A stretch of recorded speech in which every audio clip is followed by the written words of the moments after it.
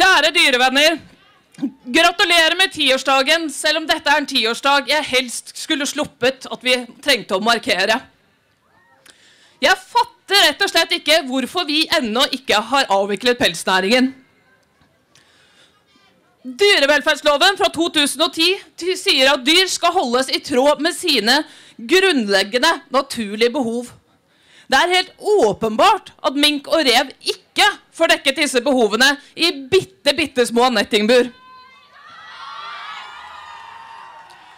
Derfor handler ikke dette bare om de verste eksemplene. Det handler ikke bare om dem som blir tatt for grov vanskjøtsel. Dette handler om at dette er en næring som bryter med vårt verdigrunnlag og med Stortingets vedtatte lover for hvordan dyr skal behandles. I sommer tok NRK Rogaland meg med til en veldrevet minkform. Og vet dere hva? Det endret ikke mitt syn på denne næringen. Dette er en næring som må avvikles.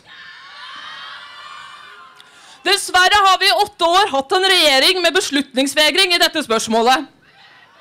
Og nå har vi fått en regjering som ikke engang er villig til å ta stilling. Jeg vil oppfordre det nye borgerlige flertallet til i det minste å fjerne de 40 millionene næringen får i subsidier hvert eneste år.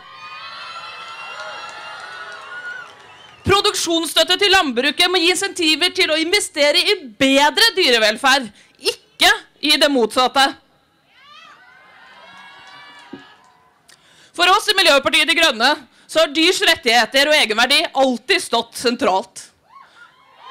For oss så handler dette om at vi ønsker oss et samfunn som ikke tolererer overgrep og mishandling av samfunnets svakeste individer. Vi vil heller jobbe for et samfunn der utnytting og likegyldighet blir erstattet med varme, omtanke og verdighet. Nå har vi kommet inn på Stortinget, og vi lover å fortsette å være en stemme for dyrene også fra innsiden av dette bygget bak meg. Og i denne saken vet jeg at det er mange som er enige med oss. Over halvparten av befolkningen står bak dette kravet. Nå trenger vi at den nye regjeringen handler. Det betyr legg ned pelsnæringen nå!